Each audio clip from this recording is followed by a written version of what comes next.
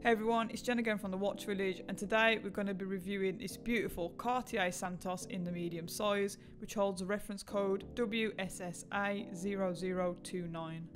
We really love this one. This stylish watch has got that classic Cartier look and never fails to capture the attention.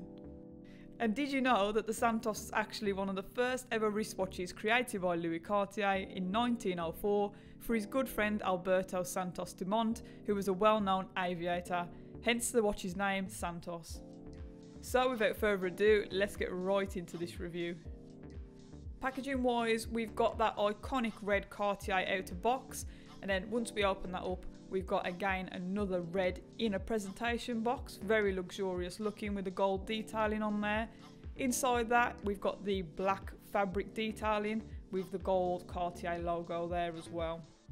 As for the specs of this watch, it is an automatic piece, powered by the Caliber 1847MC movement. And the watch sizes up with a diameter of 31.5mm, a lug width of 18.5mm, and a thickness of 8.83mm, making it the medium size model.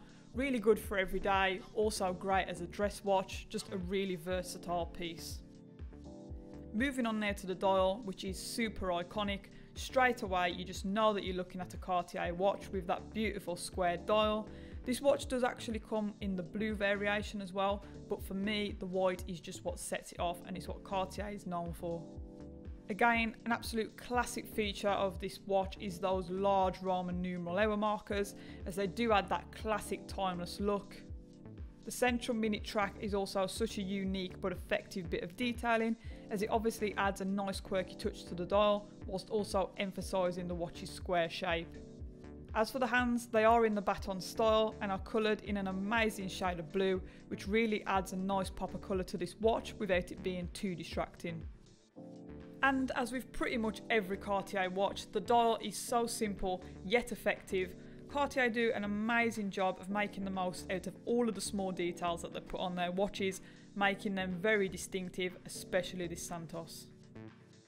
Taking a look now at the bezel on this watch, it's also quite unique in the way that it's being blended really well into the case and bracelet of the watch.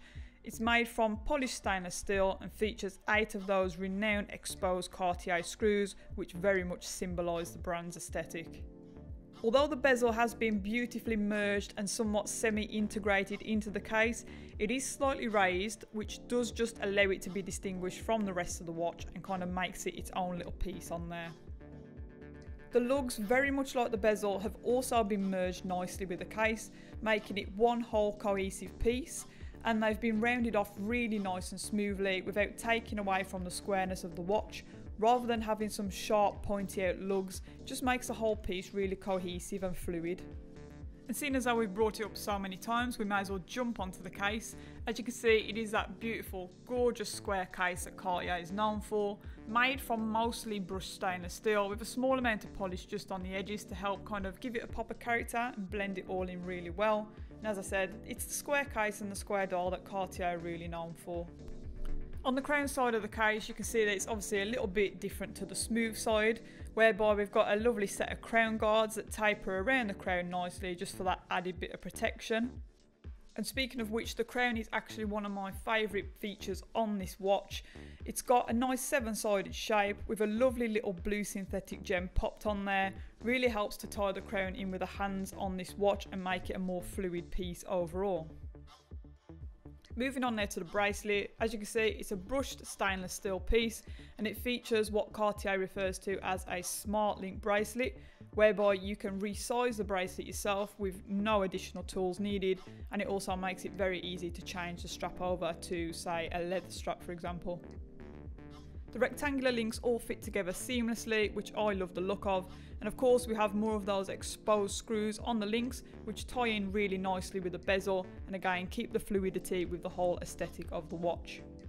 I also like the way that the screws have been polished individually just to make them stand out as their own pieces rather than getting lost in the bracelet as one big brushed design. And of course, not forgetting the clasp, it fits into the rest of the bracelet really nicely. It's quite small and doesn't draw too much attention to itself, and obviously has that Cartier logo embedded onto it as well. And last but not least, the case back, pretty much standard for Cartier this one. It's a closed piece featuring brushed stainless steel with not much going on really except for the Cartier logo engraved on there and the regular watch details. And there we have it guys, that's it for this week's review. Really hope you've enjoyed this one. Feel free to check it out on our website at thewatchvillage.co.uk or get in touch with us if you'd like us to source you one of these watches or any other Cartier model. And as always, thanks for watching. Please don't forget to like, share, subscribe to the channel, hit that thumbs up as well if you liked it, and hopefully I'll see you again in the next one.